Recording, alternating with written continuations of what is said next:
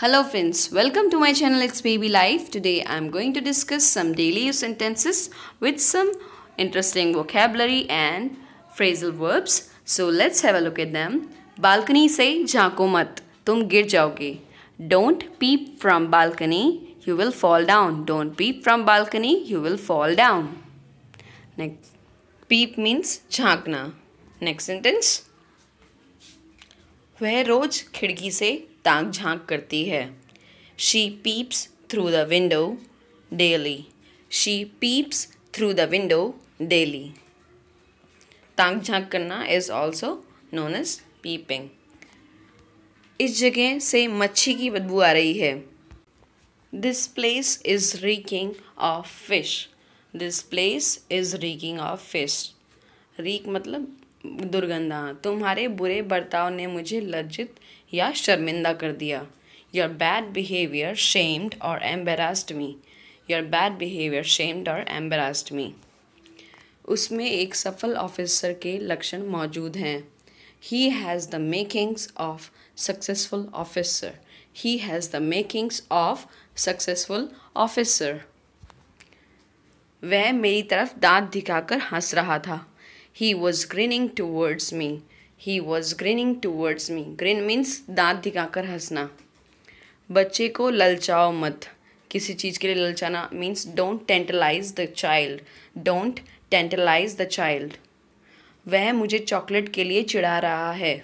He is teasing me for chocolate he is teasing me for chocolate tease means चिढ़ाना। अपनी भावनाओं को मत छुपाओ। Don't hold back your feelings or emotions. Don't hold back your feelings or emotions. उसे खेलने से मत रोको। Don't hold him back from playing don't hold him back from playing और don't stop him from playing तो इन दोनों में से कोई भी यूज़ कर सकते हैं। उसकी मधुर आवाज़ ने मुझे मोह लिया। Her melodious voice beguiled me her melodious voice beguiled me beguile means मोह लेना नेक्स्ट सेंटेंस मोबाइल में इतना मत घुसो, या मीन्स डूबो। मोबाइल में इतना मत घुसो या डूबो। Don't engross in so much in mobile don't engross so much in mobile या फिर बुक्स में घुसना don't engross in so much in books कुछ समय बच्चों और फैमिली को भी दो। Give some time to kids and family give some time to kids and family आजकल लोग फ़ोन में ज़्यादा बिज़ी रहते हैं, इसलिए ऐसे यूज़ कर सकते हैं आप। उसकी सांस से लहसुन की बदबू या दुर्गंध आई। His breath reeked of garlic his breath reeked of garlic वह हमेशा पार्क में लंबे डग भरकर चलता है। मतलब लंबे लंबे स्टेप्स लेके चलना that is stride off he always strides off in the park he always strides off in the park police ने उससे घंटों भर पूछताछ की police grilled him for hours grill में होता है लंबे समय तक पूछताछ करना police grilled him for hours तुम लंगड़ा कर क्यों चल रहे हो? Why are you hobbling why are you hobbling मतलब किसी डिफ़िकल्टी के कारण आप लंगड़ा कर चलते हैं, तब आप पूछ सकते हैं वाई आर यू हॉबलिंग अपना सवाल दूसरे आसान तरीके से बताओ या व्यक्त करो। मतलब किसी को समझ में नहीं आता तो आप बोल सकते हैं please re rephrase your question please rephrase your question मैं उनके रवैये को समझने में नाकाम रही। Means behaviour I fail to comprehend their attitude I failed to comprehend their attitude या फिर अंडरस्टैंड देयर एटीट्यूड उसने भोले भाले लोगों को ठग लिया। ही डिसीव्ड द गलेबल और naive people he deceived the gullible और नेव पीपल मैं तुम्हारे शादी के प्रस्ताव पर विचार करूँगी।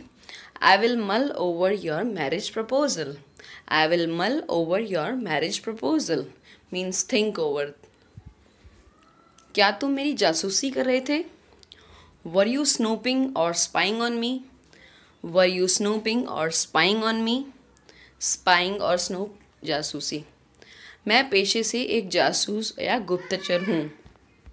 आई एम अ स्लूथ और detective by profession I am a sleuth और डिटेक्टिव बाय प्रोफेशन तुम दैनिक यात्रा कैसे करते हो?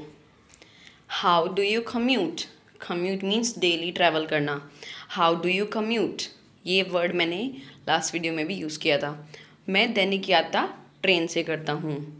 I commute by train I commute by train मतलब डेली सेम प्लेस पे ट्रैवल करना दैट इज़ कम्यूट मेरा रूममेट ख़राब है।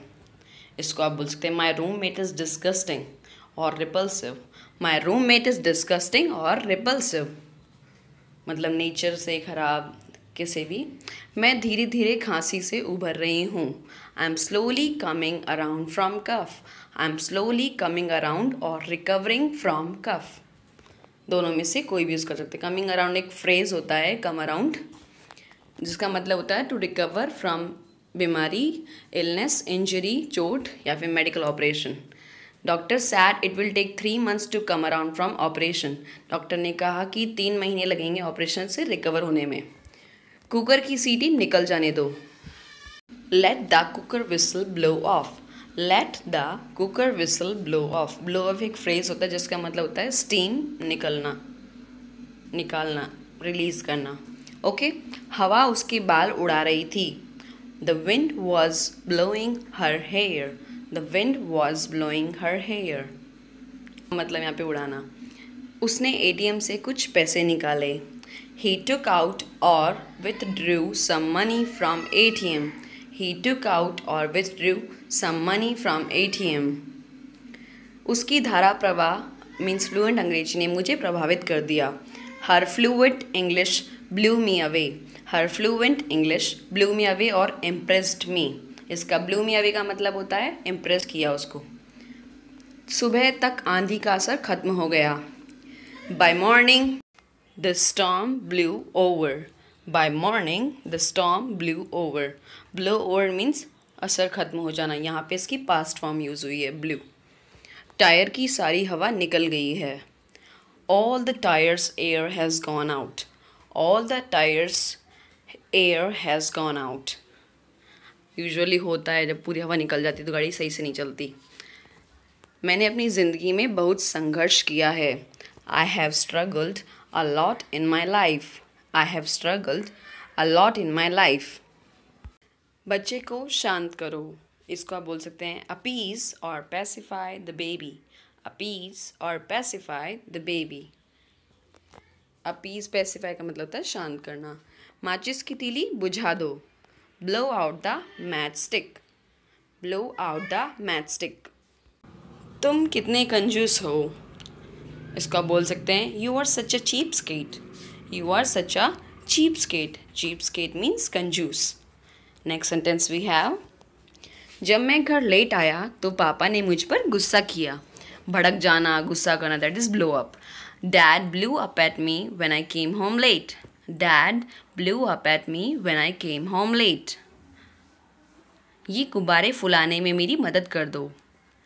Help me in blowing up these balloons help me in blowing up these balloons blow up means फुलाना।